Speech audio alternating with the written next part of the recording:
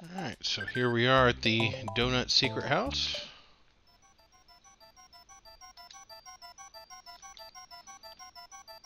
So there's uh, circle ghosts here. Go through the middle there. And avoid all of that stuff.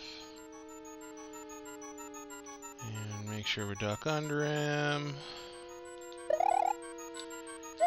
You can use P-Stomp to get the thing here to jump over this guy if we need to.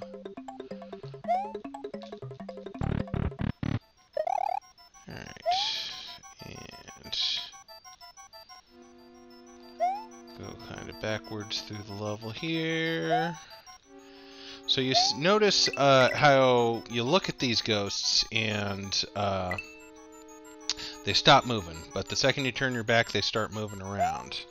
Uh, and that platform that you saw me on uh, had some coins on it, so a door will appear when I hit this P thing, and that will be the first exit.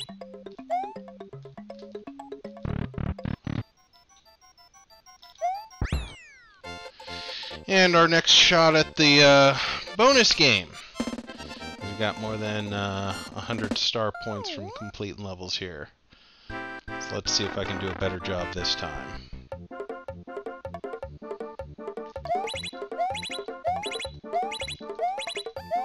Yeah, if you jump kind of at the same time every time, you can get the same item over and over. And even if you don't match them all, as you can see right there, you get four lives. And four is better than the zero I did last time.